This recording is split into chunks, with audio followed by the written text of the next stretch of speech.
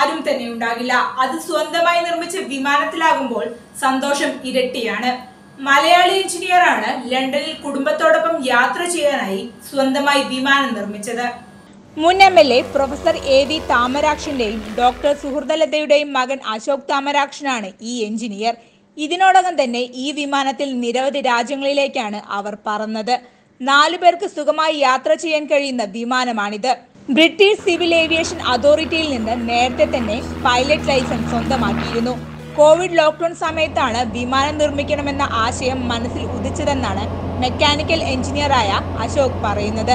Ford കമ്പനിയിൽ automobile എഞ്ചിനീയറാണ് അശോക്. വിമാനത്തിന്റെ നിർമ്മാണ പ്രവർത്തനങ്ങൾ ആരംഭിക്കാനായി ഭാര്യ അഭിലാഷ ദുബൈയുടെയും പൂർണ പിന്തുണയുണ്ടായിരുന്നു. ഇൻഡോർ സ്വദേശിനിയായ അഭിലാഷ ഇൻഷുറൻസ് കമ്പനി ഉദ്യോഗസ്ഥയാണ്. വിമാനം പറത്താനായി ഒന്നര വർഷത്തെ പൈലറ്റ് കോഴ്സ് ചെയ്തു. സെക്കൻഡ് ഹാൻഡ് വിമാനത്തിലാണ് ആദ്യം ശ്രമിച്ചതെങ്കിലും അത് ശരിയായില്ല. പിന്നീടാണ് കിറ്റ് വാങ്ങിച്ച് വിമാനം നിർമ്മിക്കാമെന്ന് തീരുമാനമെടുക്കുന്നത്. അതിനായി ദക്ഷിണാഫ്രിക്കയിൽ നിന്ന് യന്ത്രഭാഗങ്ങൾ ഇറക്കുമതി ചെയ്തു. ഓസ്ട്രേലിയയിലെ റോട്ടക്സ് കമ്പനിയുടേതാണ് എഞ്ചിൻ പിന്നീട് അമേരിക്കയിലെ ഗാർമിൻ കമ്പനിയിൽ നിന്ന് ഏവിയോണിക്സ് ഉപകരണങ്ങളും വാങ്ങി. ആവശ്യമായ ഉപകരണങ്ങൾ ഒരുക്കി വെച്ച ശേഷം ലണ്ടനിലെ വീട്ടിൽ ഒരു താൽക്കാലിക വർക്ക്ഷോപ്പ് നിർമ്മിച്ചു. അതിനുശേഷം രണ്ടായിരത്തി ഇരുപത് ഏപ്രിലിലാണ് വിമാനത്തിന്റെ നിർമ്മാണം ആരംഭിക്കുന്നത്.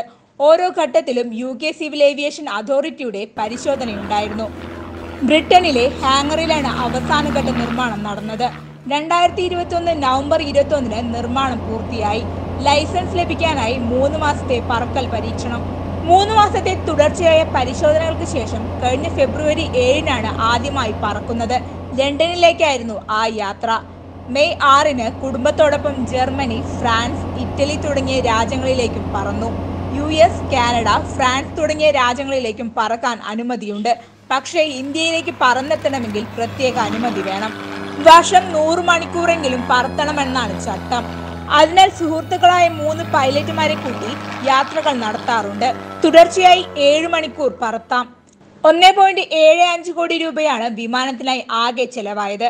ഇരുന്നൂറ്റമ്പത് കിലോമീറ്റർ വേഗതയിലാണ് വിമാനത്തിൽ യാത്ര ചെയ്യാൻ കഴിയുന്നത്. തൊള്ളായിരത്തമ്പത് കിലോഗ്രാം ഭാരം താങ്ങുന്നതാണ് വിമാനം. ഇളയ മകൾ ദിയയുടെ പേരിനൊപ്പം ബ്രിട്ടനിലെ വിമാനങ്ങളുടെ ഐക്കണായ ജി ചേർത്ത് ജി ദിയ എന്നാണ് വിമാനത്തിന് പേരിട്ടിരിക്കുന്നത്.